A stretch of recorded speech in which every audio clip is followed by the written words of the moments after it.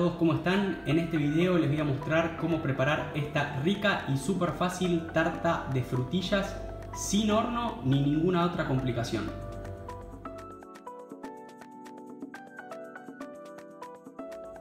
Para la base vamos a necesitar 300 gramos de galletitas de vainillas, yo estoy usando estas, pueden ser cualquiera, inclusive de chocolate también. 150 gramos de manteca o mantequilla sin sal y un molde en lo posible desmontable o de estos de silicona de 24 centímetros. Para el relleno necesitamos 250 gramos de crema de leche, nata para montar o media crema, es la que no tiene azúcar, y un extra para decorar, 4 cucharadas de azúcar y esencia de vainilla. Y para la cubierta tenemos medio kilo de frutillas o fresas lavadas, una taza de agua caliente, dos tazas de cubitos de hielo y un sobre de gelatina de frutillas o de fresa que son aproximadamente unos 40 gramos. Bueno y miren qué fácil que es esto. Tengo una bolsita de nylon, yo las galletitas las voy a procesar a mano porque mi procesadora es muy chiquita y voy a demorar mucho. Entonces en una bolsita de estas tipo Ziploc voy a empezar a poner todas las galletitas partidas así con la mano voy a cerrar la bolsa sacándole todo el aire y con el palo de amasar las voy a hacer polvo, así, de a poquito. Si no pueden todas en la misma bolsa, tienen una bolsa más chiquita, las van haciendo por tanda.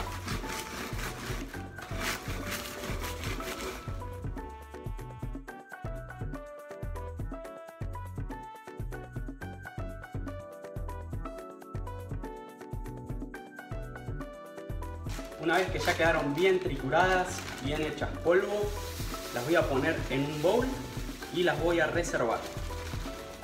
Por otro lado, en una cacerolita a fuego bajo o en el microondas, dos minutos a temperatura máxima, vamos a derretir la manteca. Incorporamos la manteca derretida en las galletitas trituradas y vamos a mezclar con una cuchara hasta formar una pasta o una masa. La vamos a volcar en el molde y con una cuchara o con una espátula vamos a ir acomodándola para recubrir la base y los bordes.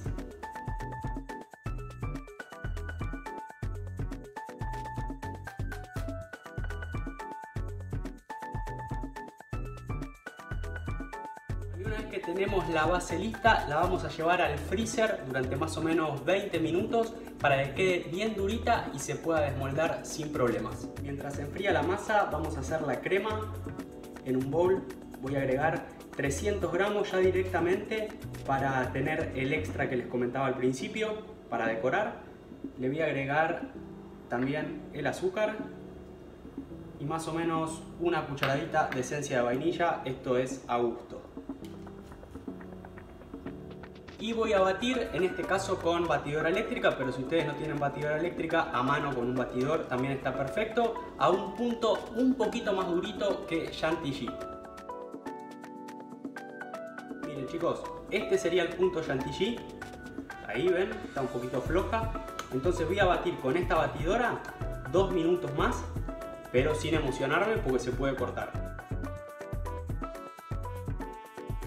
y acá logramos el punto que les decía, ¿ven? Lo agarran así con una cuchara y no cae, queda sostenida en la cuchara. Así que ahora esta crema la vamos a reservar en la heladera aproximadamente 10 minutos. Ahora voy a preparar las frutillas, ya las tengo lavadas, le saqué el cabito verde y pueden usarlas como ustedes quieran, pueden partirlas al medio y acomodarlas así o en láminas como yo les voy a mostrar ahora. Le corto así un poquito la base para que quede más plana y voy a cortar láminas así a lo largo porque me parece que la presentación de esta forma queda mejor pero es solamente de manía ¿eh? ustedes lo pueden hacer como quieran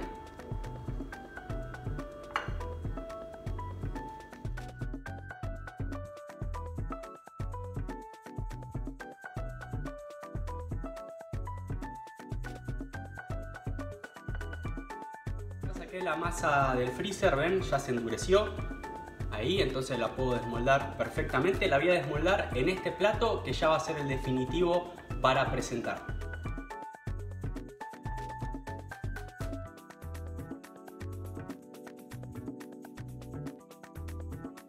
Vamos a rellenar con la crema de leche que habíamos batido previamente. Vamos a dejar el extra para decorar. Acomodamos así con la espátula. La cantidad de crema es a gusto. ¿eh? Yo les di la medida de referencia, lo que estoy usando yo, pero si a ustedes les gusta un poco más o tienen un molde más grande, lo van variando a gusto y a su necesidad. Y vamos a ir acomodando las frutillas. Primero voy a hacer los bordes. Si quieren una puntita puede sobresalir un poquito del, del molde y queda perfecto. Y voy superponiendo ahí una sobre la otra.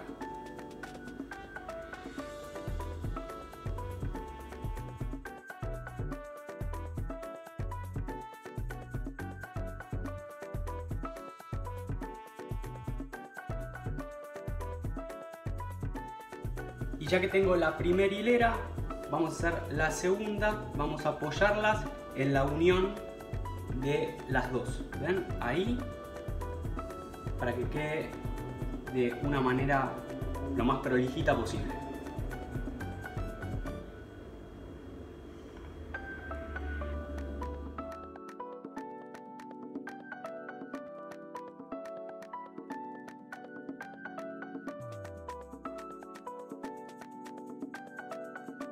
la misma forma completamos el resto, ¿sí?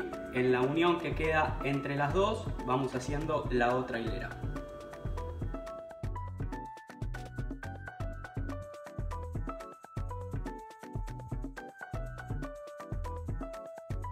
Ya que tenemos toda la tarta completa de frutillas, miren qué linda quedó.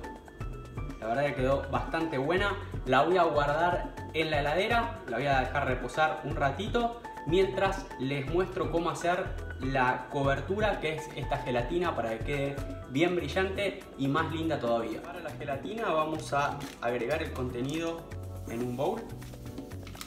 Vamos a incorporar el agua caliente y vamos a batir hasta disolver. Ya que la gelatina está disuelta, le vamos a empezar a incorporar los cubitos de hielo.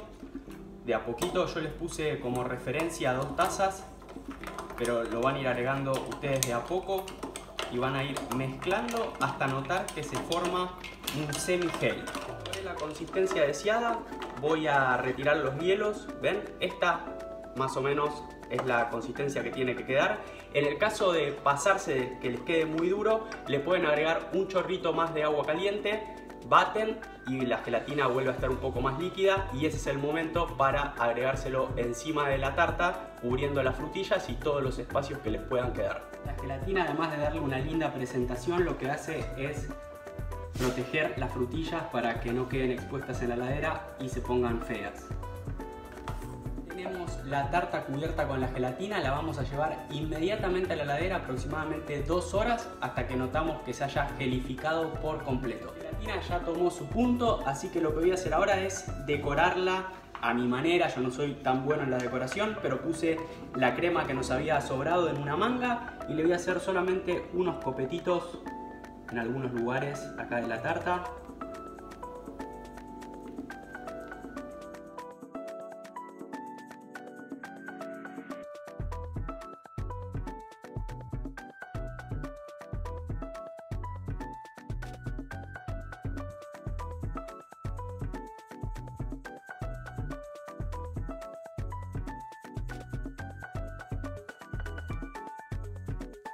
Bueno, y por acá la porción para todos ustedes. Se las comparto aunque sea virtualmente. Espero que les haya gustado mucho esta propuesta, que la puedan hacer. Como habrán visto es muy sencilla, muy rápida. Así que si les gustó este video les agradezco por dejarme un like, por compartirlo y si quieren se pueden suscribir al canal para que sigamos creciendo y haciendo más recetas. Les dejo un saludo y nos vemos en la próxima. Chao.